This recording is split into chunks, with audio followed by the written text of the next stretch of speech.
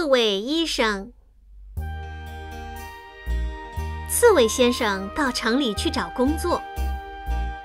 医院的院长说：“我看你就来做医生吧，你浑身是刺，专门给大家打针好了。”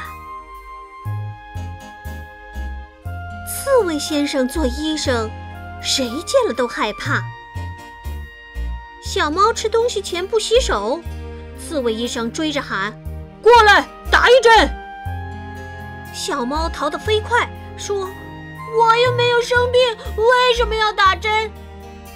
你吃东西不洗手，以后要生病的，不如提前打。”小猫保证下一次一定不忘洗手，刺猬医生才放过了它。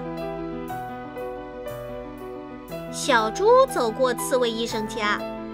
刺猬医生马上说：“我闻到一只没有刷牙的小猪。”刺猬医生踩着滑轮车追出来，大声地喊：“过来，打一针！”小猪没有滑轮车，逃不掉，只好举手投降，说：“我又没有生病，为什么要打针？你不刷牙，以后要生病的，不如提前打。”小猪保证下次一定不忘刷牙，刺猬医生才放过了他。第二天，老鼠妈妈押着她的十个孩子来找刺猬医生，说：“求医生治好我的孩子不肯洗澡的毛病。”刺猬医生马上竖起身上的一根根刺，说：“这好办。”每个都来打一针。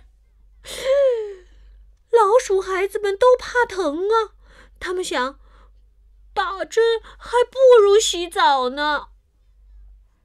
老鼠孩子保证以后一定好好洗澡，刺猬医生才放过了他们。老鼠妈妈高高兴兴地带着孩子们走了。小狗乱吃东西。干净的东西吃，脏的东西也吃。刺猬医生看见了，扔过去一个绳套，绳套一下套住了小狗。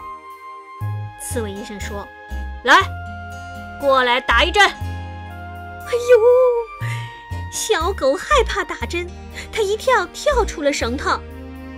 可是，不用刺猬医生去追，小狗就被包围起来了。原来，从南边跑来了小猫，从东边跑来了小猪，从西边跑来了十只小老鼠。大家说：“小狗，你得保证下一次再也不乱吃东西。”小狗保证过了，刺猬医生才同意放小狗走。后来，刺猬医生走到哪里？